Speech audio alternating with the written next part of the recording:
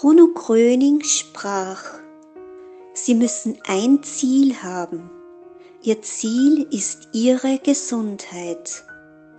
Befassen Sie sich mit Krankheit und denken Sie daran, so haben Sie damit ein zweites, anderes Ziel.